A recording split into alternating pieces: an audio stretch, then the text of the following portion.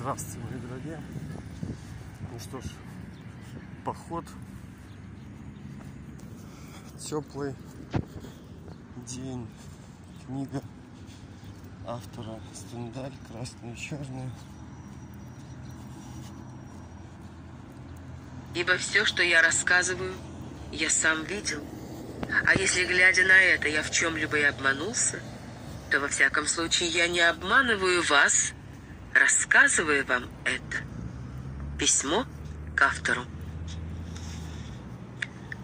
Глава 21 и следующие рассказывают о событиях, напоминающих тайные интриги ультрароялистов в первые годы реставрации. Главнейшей задачей правительства было так называемое освобождение территории. После вторичного падения Наполеона Франция была оккупирована войсками Европейской коалиции, которые должны были оградить трон Бурбонов от возможных революционных восстаний внутри страны. Ультрароялисты, группировавшиеся вокруг неистового реакционера графа Д'Артуа, впоследствии короля Карла X, противодействовали этому. Граф Д'Артуа тайно от правительства посылал в Лондон своих агентов с тем, чтобы убедить английское министерство продлить оккупацию. Одним из таких агентов был Жюль де Полиньяк. Он прибыл в Лондон с секретной запиской, написанной под диктовку графа Д'Артуа. Стендаль использовал этот эпизод в своем романе, действие которого происходит лет на 12 позже. Однако политическая ситуация 1830 года была такова, что ультрароялисты могли ожидать революции и имели основания просить помощи у иностранных держав. Примечание редакции. Маркиз позвал Жюльена к себе. Господин Деламоль, казалось, помолодел, глаза его сверкали. «Поговорим-ка немного о вашей памяти», — сказал он Жюльену. «Говорят, она у вас замечательная.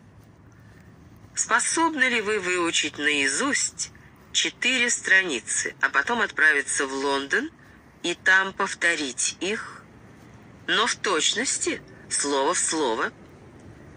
Маркиз раздраженно мял в руках свежий номер «Котидьен», тщетно стараясь скрыть необычайную серьезность, какой Жюльен никогда еще не видал у него, даже когда дело касалось его процесса с де Фрилером.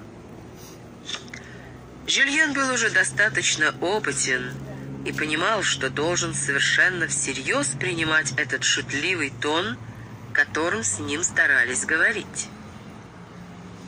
Вряд ли этот номер Котидьен достаточно занимателен. Но если господин Маркиз разрешит, завтра утром я буду иметь честь прочитать его весь наизусть. Как? Даже объявление?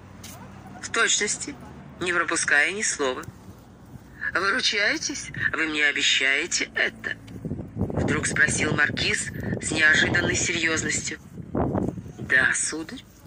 И разве только страх нарушить обещание мог бы ослабить мою память? Видите ли, я забыл вас спросить об этом вчера. Я не собираюсь заставлять вас клясться мне, что вы никогда никому не повторите того, что сейчас услышите. Я слишком хорошо знаю вас, чтобы оскорбить вас таким подозрением.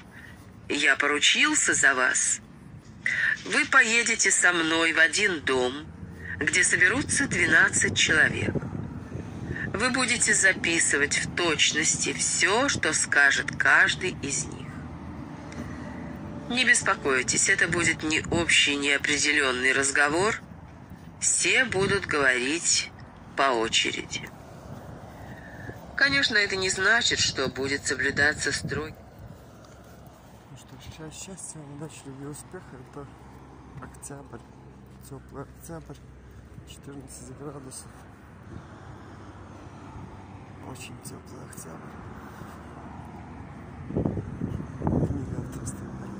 Пока-пока.